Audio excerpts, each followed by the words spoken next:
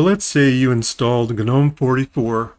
But let's say that you're a KDE user, or maybe you just want to try KDE, or maybe you miss KDE, or whatever the reason is you want to install KDE. Well, there's a couple of options. You can go to the Fedora website and you can download the KDE uh, spin of Fedora, which will run Plasma 5.27 point something or other. But say you already have this installed and you say, you know what, I don't want to download the Fedora spin and start over. In addition to that, if you install the KDE spin of Fedora, you're not going to have some of the GNOME tools that you might like. There's lots of reasons that you could choose to do this, right? Whatever the reason, you know, there's different ways to do it. One of the easiest ways to do it is to do it this way. You want to open up a terminal.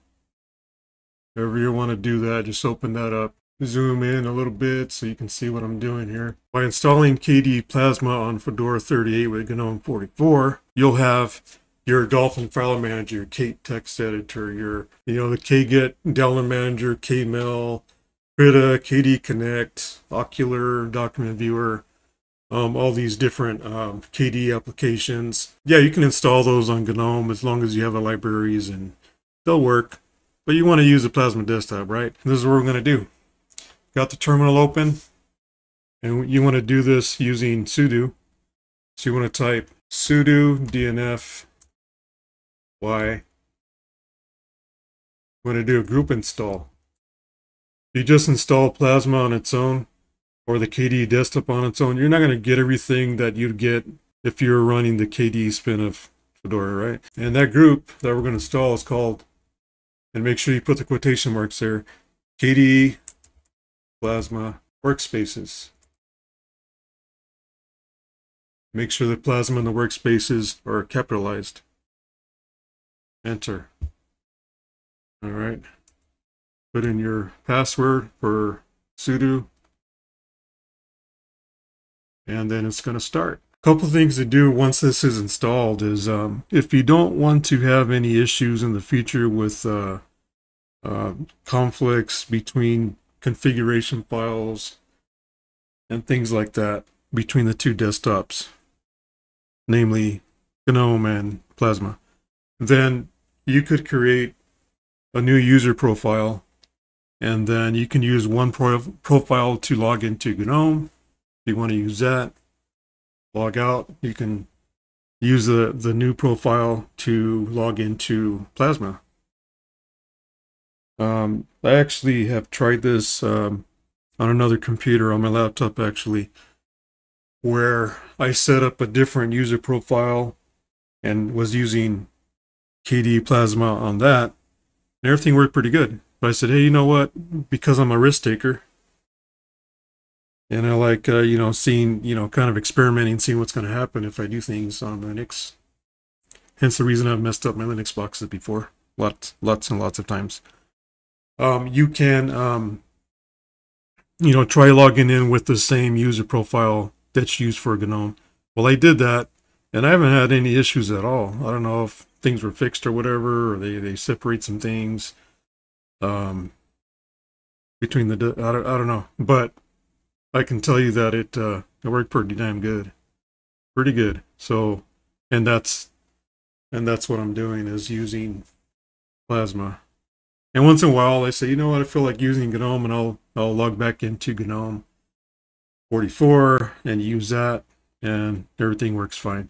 Uh, some of the things I've seen in the past, though, I haven't seen it yet on Fedora 38 but some of the things I've seen in the past that were issues for me were say I am in uh, Plasma and you install a new icon theme.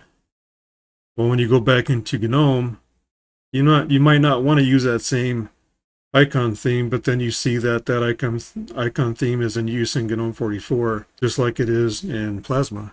But you might not want that, so you and you change the icon theme back to the default or some other theme that looks pretty good on on GNOME and it's all cool and stuff. And then you log out and later on you log back into Plasma and then you see your icon theme changed. I haven't seen that yet on Fedora 38. I'm not saying it can't happen, but I've seen it in the past. And then some settings get kind of wonky and stuff like that in certain programs, you know, that you might use. Your browsers um, are most likely not going to sync up well in regards to your save bookmarks, uh, whatever sync settings you got in whatever browser you use, whether it's Brave, Google Chrome, if you're into that, you know, Microsoft Edge, God forbid, for using that sucker. Now, one thing I'll say about Microsoft Edge is it, it works really well, but, you know, if you're cool with uh, Microsoft telemetry and having to log in to an account and them sharing your information and collecting information on where you're browsing and stuff like that, go for it. Um, I personally don't like that. So even though Edge is a pretty good browser, even on Linux, um, I, just stay away from that. Now I'll use Google Chrome uh, sometimes uh, for you know when I'm uploading uh, YouTube videos and things like that because well YouTube is owned by Google, so you know what are you gonna do, right? Right now, as of uh, as of the recording of this video here, a whole 82 subscribers on my channel, which is pretty cool because I've been running for a couple of months now and I have 82 subscribers. Not a lot, but once I get to 100, which is 18 more, then what I can do is I can um, import all of my YouTube videos over to Odysee. They they require that you have at least 100 subscribers in order to do that. So once I do that, I'll I'll be on Odysee as well. All right, guys. So here we are. We logged into KDE Plasma. So we got it. So now we have KDE Plasma. Matter of fact, while I'm here, I'm going to change it to the uh, dark mode. I like that better. It doesn't blind me.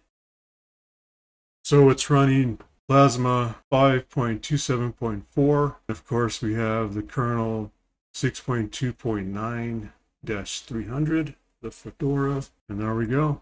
Good to go.